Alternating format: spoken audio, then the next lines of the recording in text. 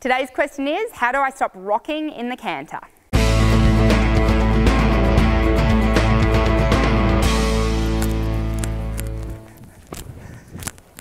Okay, so a lot of people struggle in the canter because they do this rocking motion of come on horse, come on horse, come on horse, come on horse, come on horse. Who's guilty of that? They want their horse to canter, so they canter for the horse.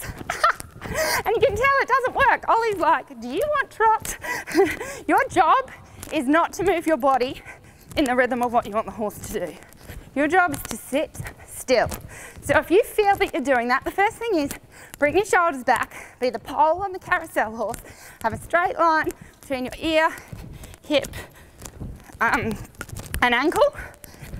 And when you're straight, if you're still feeling that you're doing that, I just need you to flatten your spine like a Pilates move, put your belly button into your back, so suck it in, come really, really tall, feel like someone's pulling your head to the sky and your heels down to the ground, so you go from five foot seven to six foot, and then that'll help you tighten everything you need to tighten to be stiller in the canter.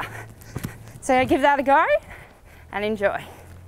Today's episode gave you huge value. I would love to invite you to a free class I've created for you to help you look and feel like a Grand Prix dressage rider in as little as three rides per week. Don't worry if you don't have a good enough horse. In secret number one, I'll tell you why that doesn't even matter. I'll tell you how to do it in less than, in only three rides, and I'll also tell you the secret you need to know to make sure you're doing in your riding to accelerate your results and get you to the next level. I can't wait to have you on the class. It's completely free, my gift to you. Click on the link to sign up.